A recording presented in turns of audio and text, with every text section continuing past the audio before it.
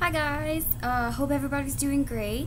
Uh, I figured I would post these videos to help you with your practice time, just in case we're still struggling on some of the exercises.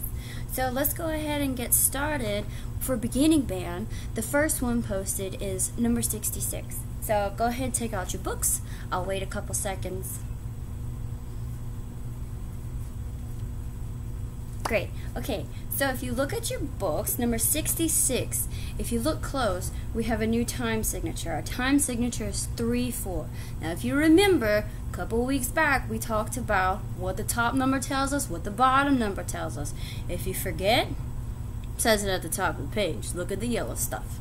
Okay, so we're going to first clap and count it so that we don't forget how to clap and count. It's important. Ready? One, two, here we go. Three, one, rest. Three, one, two, and three, and one, rest, rest. One, two, and three, one, two, and three, one, and two, three, one, two, three, repeat. One, two, three, one, rest. Three, one, two, and three, and one, rest, rest. One, two, and three, one, and three. One and two, three. One, two, three. Awesome, we did it.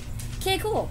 So now, because it's a rhythm rap, and there's no notes assigned to it, you can practice it on any note that you want. My favorite pitch to play on is a G on trumpet. So for flutes and little brass, that would be your F. For saxophone, that would be your D. Clarinet and trumpet, that would be a G. Uh, percussion, just play the rhythms. About all we're gonna do. Unless you you brought the bell kit home. Here we go. So one, two, three, one, ready, go.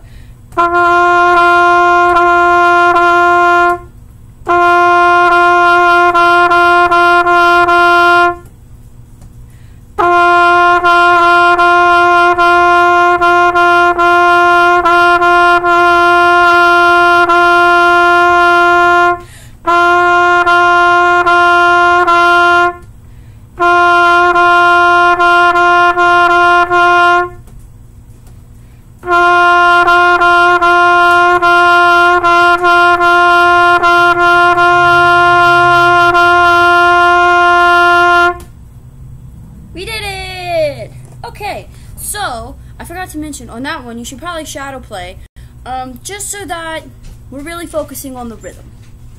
Um, if you want to go ahead and play it again, go ahead and do so. Pick your rhythm, not your rhythm, your pitch. Pick your pitch. Ready? Um, again, I'm playing on an F concert. G, trumpet to clarinet. Uh, D, saxophone. Here we go. One, two, one more time.